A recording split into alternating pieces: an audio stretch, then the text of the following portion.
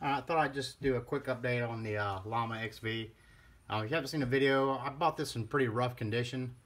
Um, I got a video up on how uh, I redid it and refinished it and everything I did to it and how I did it. If I'll leave a link to that at the uh, bottom there in the description if you want to take a look at that. But the problem I had after I was done with it, I never fired it. When I first got it, I never fired it before I redid it because, like I said, it was in pretty rough shape. Um, like I said, you can see the before and after pictures and everything. Um, but I was getting uh, like double fires, like double taps, like it would fire two rounds. And I'd get slam fire sometimes. So this has been safe check right. There's no magazine in it.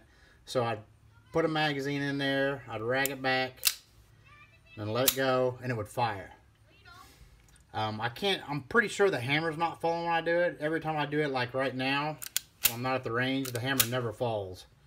So I think it's from the when the slide's stopping that the firing pin's actually it doesn't have a firing pin safety on it or stop so it's going forward a little bit and firing around.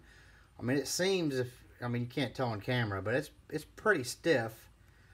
But uh, so I stretched out the spring to make it a little bit stronger and I took it out a couple days ago.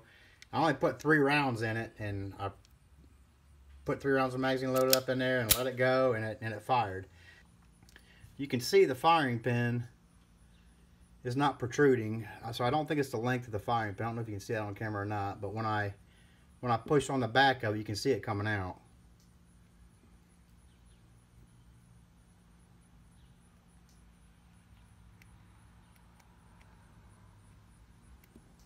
So I don't know if it, the camera caught that or not. So so I'm gonna I guess I'm just gonna get a uh, I don't think it's the length of the firing pin or anything. Grip safety. I don't think it's the length of the firing pin that's wrong. I believe it's a spring, so I'll try to, uh, I'll buy a, a, new firing pin spring for it. Uh, should be about a 38 cent part, but you know, it'll be like $5 with $75 shipping and handling. Um, so I'll get that spring in and try it out, and I'm gonna try to film it slow motion just to just to double check, make sure my hammer's not falling when I release that slide on there. Um, but I'll keep you updated.